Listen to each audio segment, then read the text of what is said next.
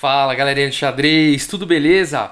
Pessoal, tem muita gente pedindo para falar sobre o Ivanchuk, o Vassily Ivanchuk, o jogador ucraniano, a lenda viva do xadrez, tá bom? É considerado por muitas pessoas aí como o campeão sem coroa, né? Infelizmente o Ivanchuk não chegou a ser campeão mundial, apesar de ter batido na trave algumas vezes, ele foi lá, tal, ficou, é, quase conseguiu muitas vezes, mas não conseguiu esse feito. Ele foi campeão mundial, entanto, na, de rápidas, tá bom? De partidas rápidas, se não me engano, de blitz também. Inclusive à frente de Magnus Carlsen e de Grishuk, que também é um excelente jogador de partidas rápidas e de blitz. Então ele é um jogador fantástico. Dizem algumas pessoas que ele era o único jogador que o Kasparov temia, tá bom? O Ivanchuk ganhou uh, várias vezes do, do Kasparov, inclusive eu vou mostrar também essas partidas para vocês. E eu tô abrindo essa playlist breve aí, a gente vai interromper por enquanto brevemente aí a nossa playlist da saga dos campeões mundiais para abrir essa playlist de carnaval, vamos chamar assim, uh, do Ivanchuk, tá bom? Partidas aí do Ivanchuk bastante deliciosas aí pra gente curtir no carnaval, tá bom, pessoal? Vamos dar uma olhada aqui, ó. Antes de mais nada, deixa eu mostrar aqui, ó. Tô no site do, do Rafael Leitão, alguns torneios. Aqui tem uma matéria interessante, até eu vou deixar aqui o, o link para vocês, tá bom? Da matéria aí do blog do, do Leitão. Ah, e aqui tem alguns torneios interessantes, ó. Linares, 1991, ó, ficou em primeiro lugar, um torneio fortíssimo, à frente aí de Kasparov, Spielman, Yusupov, ó, Karpov, Anand, Kamsky, Gata Kamsky, enfim, torneio fortíssimo, ó. William Xi, aqui 1996, primeiro lugar. Olha só, Anand, Topalov, Michael Adams, uma galera aí, Shirov, ó, Boris Gelfand, todo mundo atrás dele. O Memorial Tal de 2008, primeiro lugar. Morozevich abaixo dele, Ponomariov, o ex-campeão mundial, Kramnik, uh, Boris Gelfand, Peter Leko, Agata Kamsky de novo, Mamed, Mamediarov, Shirov, enfim, muito bacana, né? Olha aqui uma foto bastante curiosa dele. Dizem que ele vive no planeta Ivanchuk. Ele é conhecido por ser um jogador muito excêntrico, né? Muito diferente tal. Ele faz umas caras umas caretas, umas caras muito boas e tal. Uh, infelizmente ele é, é conhecido também pela instabilidade emocional dele. Talvez tenha sido esse um dos fatores que fazem com que ele não tenha muita consistência, não teve muita consistência ao longo da carreira. Ele teve esses picos, né? E mas muitas vezes ele foi pego até acho que num torneio depois de não, não, não sei se foi numa Olimpíada, uh, enfim, ele foi pego chutando lá um poste de concreto nervoso lá porque tinha perdido e tal. Então ele é um. É, mas é um cara e tanto, é um cara genial, super querido. Ele também joga damas, é um jogador fortíssimo de damas. E vamos lá, gente, vamos conhecer um pouco mais. Agora, conhecer o Ivanchuk é só mesmo vendo as partidas dele, porque o estilo dele é, é único. Eu acho que não. Eu não conheço ninguém que tenha um estilo tão maluco e tão genial quanto o do Ivanchuk. Ele é um jogador apaixonante. Vamos dar uma olhada aqui. O Ivanchuk ah, jogando de brancas contra o Kariakin, o Sergei Kariakin, um jogador russo fortíssimo, né? Um dos melhores do mundo. E vamos lá. O Ivanchuk abre aqui com E4, peão do rei. Temos C5, a defesa siciliana aqui pelo Kariakin. Cavalo em F3, D6, D4, então aí uh, lutando pelo centro. C toma D4, essa é a ideia da siciliana, né? Trocar um peão que não é central por um peão central. As pretas que jogam sicilianas ficam felizes com isso. Uh, cavalo toma D4, cavalo F6 atacando E4, cavalo C3 defendendo e A6. Uh, ah, esse lance então indo para Naidorf, né? A defesa, a variante Naidorf da defesa siciliana. Esse peão aqui ele dá apoio para jogar B5, também segura aqui a casa B5 para as peças não entrarem. É um lance bastante comum aí na defesa siciliana. A partida continua com bispo C4. Ah, Aqui vários lances são possíveis, tá bom, gente? Aliás, muitos mesmo. A, Naidorf, ela tem um vasto repertório aí de abertura. Tem hoje em dia com A3, tem H3, tem F3, tem Bispo F4, tem Bispo G5, tem Dama F3, tem Bispo E3, enfim, tem muitas, muitas, muitas possibilidades aqui, tá bom? O Ivanchuk vai com Bispo C4, a E6 foi jogado, e aqui transpôs então para Scheveningen, tá bom? A variante Scheveningen aí da defesa siciliana. Aqui o mais popular aqui nessa posição é o lance E5, tá? Ah, mas foi jogado aqui E6 e agora bispo B3. O lance aí do Bob Fischer. O Bob Fischer que gostava de jogar o bispo dele em C4 e voltar para B3. Esse lance faz sentido, afinal de contas as pretas vão jogar B5. né, atacando o bispo, então ele já se antecipa aí e coloca o bispo para B3. A B5 aí foi jogado, é um lance de expansão temática aí na ala da dama para quem joga siciliana. A bispo G5, bispo E7, dama F3, colocando aqui a dama nessa diagonal, já ameaçando aqui o lance E5, né? A dama C7, e agora se as brancas jogam E5, as pretas têm aqui o intermediário bispo B7. Inclusive foi assim que continuou na partida, tá bom? E agora então, a dama aqui do Ivanchuk está atacada, mas ele continua com o peão, toma em D6, e agora o peão dele está atacando a dama. A bispo toma D6 foi jogado, agora a dama do Ivanchuk está atacada e ele continua aqui com dama em E3. A bispo C5 aqui foi jogado, e o Ivanchuk então dá o grande rock, colocando o rei dele em segurança e já ativando aí a torre, né? Cavalo C6, desenvolvendo o cavalo.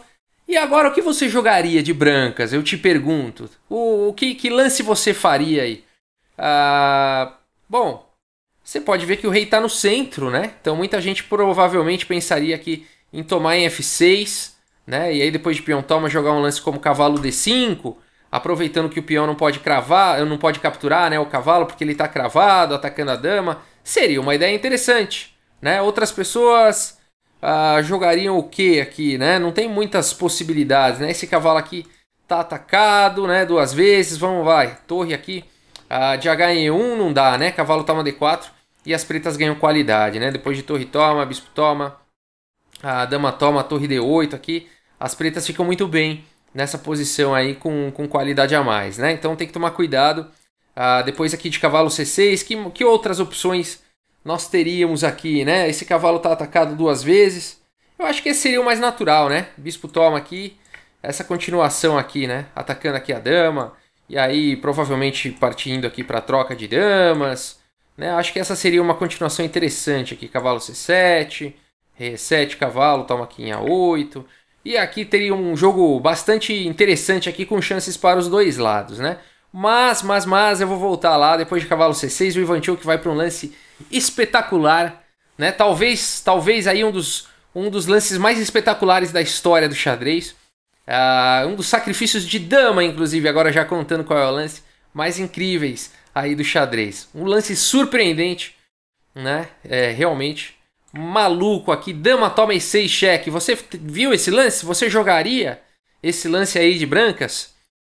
Tomara que sim, tomara que você seja tão criativo e tão genial aí quanto o Ivanchuk. Bom, sacrificou a dama por um peão até agora, vamos vendo, né? Mas o lance todo é o rei no centro, tá? Agora, depois de peão toma, a partida seguiu com cavalo toma em 6, atacando a dama, atacando o G7. Esse cavalo aqui tá protegido, tá ameaçando dama E1, é, torre E1, tá bom? Colocando aí a torre na mesma coluna do rei. Esse rei não pode dar roque, né? O cavalo tá segurando aqui os dois lados. Muito interessante aqui essa continuação aqui do Ivanchuk. A dama E5 foi jogado. E agora cavalo toma G7, cheque. E o Ivanchuk, então, já tem aí três peões, né? Quantos peões? Três, tá com três peões a mais. Então tá com três peões aí pelo sacrifício da dama. Rei F8 foi jogado. Cavalo E6, dando um cheque mais uma vez. E aqui o rei tá, tá em problemas, né? Ele vai ter que ou entrar aqui na diagonal do bispo, ou se ele vier para a coluna E, vai ter que entrar aqui na coluna da torre. Difícil decisão aqui para as negras. O Cariaquim calcula bem aqui e vai com rei F7. Colocando então o rei na mesma diagonal do bispo. Mas por enquanto ele acha que ele acredita ser o melhor lance. Torre H aqui em E1 atacando essa dama. E olha que posição difícil aqui para o Cariaquim, né? Não tem muito o que fazer. Se jogar, por exemplo, aqui dama em F5. Vamos supor que jogue aqui dama em F5. As brancas têm cavalo, toma C5 aqui com cheque, abrindo um cheque descoberto. Né? Cavalo toma C5 cheque, rei G6. O bispo está atacado. Primeiro aqui com o bispo toma F6. Rei toma F6. Torre D6 cheque. Ah, rei G7. Cavalo E6 cheque. E essa posição é muito boa para as brancas. Né? Vamos supor que jogue aqui ah, rei H6, torre E4. Tá bom? Teria aqui o cavalo D4. Né? Você pode estar tá pensando, cavalo D4 abrindo um cheque e capturando a dama na sequência. Mas torre E4 é ainda um pouco mais forte. Uh, e depois aqui de cavalo E5, agora sim, o cavalo D4 cheque.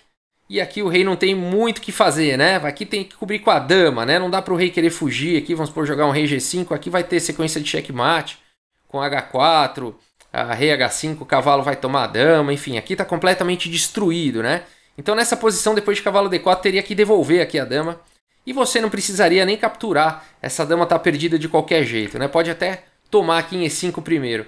E aí se dama toma a torre, cavalo dá um cheque aqui com o duplo. Olha que sequência genial, né? Que sequência genial. Então não dá para jogar a, a dama aqui em F5, tá? Ah, então eu vou jogar a dama toma em H2 nessa posição aqui. Vamos, vamos, vamos ver dama toma em H2. Aqui continuaria mais uma vez com essa sequência de cavalo toma em C5 cheque. A rei G6, bispo toma F6, rei toma F6 e torre E6. Aqui já as brancas também estão completamente ganhas. Depois de rei F5, torre D5 cheque acabou, né? Aqui o, o rei não tem muito o que fazer, não pode vir aqui para F4, por exemplo, que torre E4 simplesmente é, entrega checkmate, né? G4. Ah, dá para jogar com torre E4 também, dá para continuar aqui com cavalo D1, ameaçando vir aqui para E3 e depois vai ter que vai ter que entregar a dama aqui, né? Não tem o que fazer. Então posição completamente vencedora já, né? Nessas nessas variantes. Então vamos voltar aqui. Por isso que depois aqui de torre de H em E1 o Cariaquim pensa bastante e escolhe devolver aí a dama. Com dama toma aqui em E1 e a partida segue primeiro agora em vez de capturar a dama. Não tem pressa, né? Melhor capturar essa peça aqui de C5 primeiro. Cavalo toma C5 abrindo um cheque aqui descoberto. A rei G6 atacando o bispo. Mas agora sim, né? Agora é hora de recuperar a dama. Torre toma E1, rei toma G5.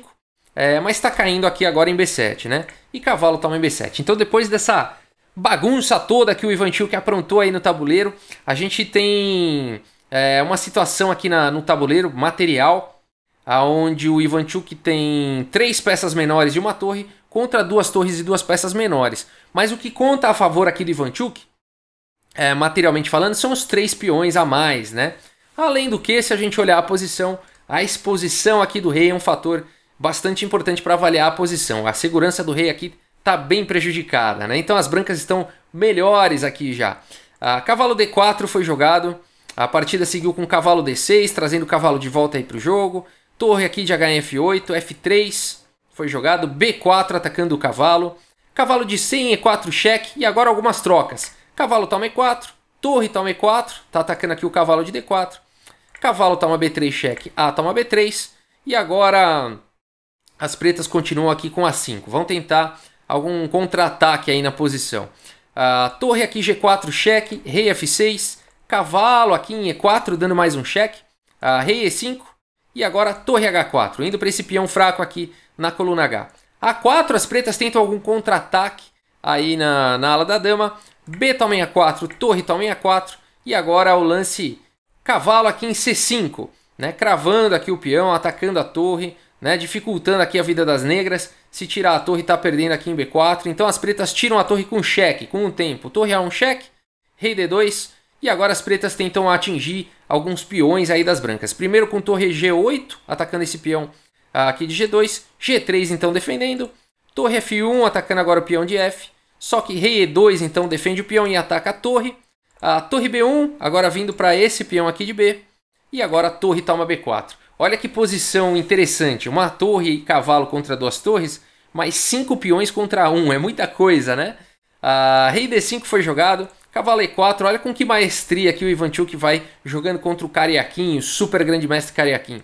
A rei C6, H4, torre aqui em H1, torre C4 cheque, rei B6 e agora B4, avançando com os peões da dama.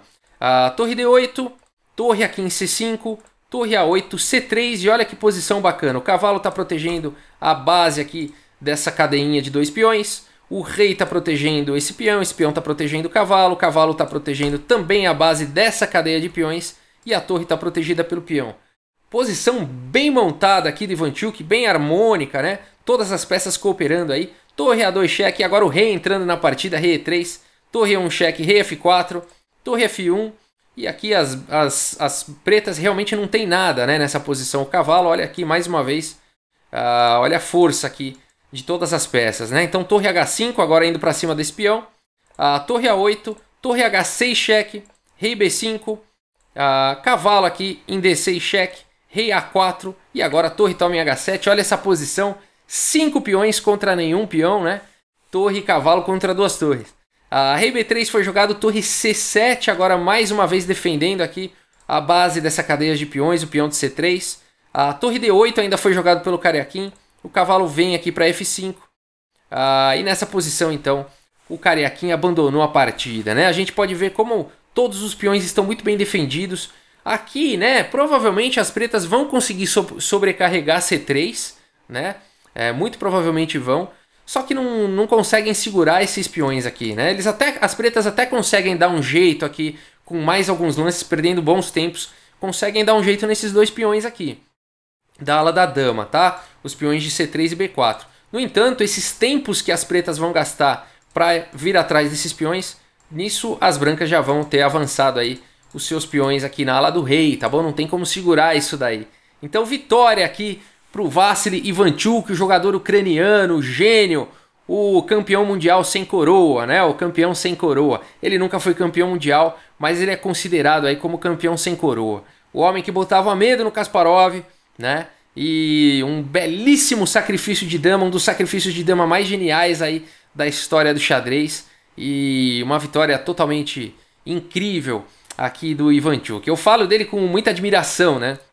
Ele é um dos meus jogadores preferidos aí. É, eu não tenho, não gosto do estilo dele para eu jogar, eu não me sinto bem, né, fazendo, é, indo para posições tão complexas assim como as que o Ivan Chuk coloca no tabuleiro, né? Ele realmente bota fogo no, no tabuleiro, faz uma confusão, arma um carnaval, né? Eu acho que a nossa playlist do Ivan Chuk no carnaval acho que combina bem, né? Ele arma um carnaval aí no tabuleiro, né? Eu tenho um estilo um pouco mais posicional e tudo mais é uma questão de estilo. Mas não é por isso que eu não admiro aqui o Ivan Tchuk, eu admiro demais. Aliás, ele deve ser o meu oposto complementar, por isso que eu admiro tanto ele. Beleza, pessoal, espero que vocês tenham gostado. A gente segue com a nossa playlist do Ivanchuk para ver mais partidas aí do gênio maluco Ivanchuk. Beleza? Muito obrigado aí pela audiência, pessoal. Um grande abraço, até a próxima, valeu!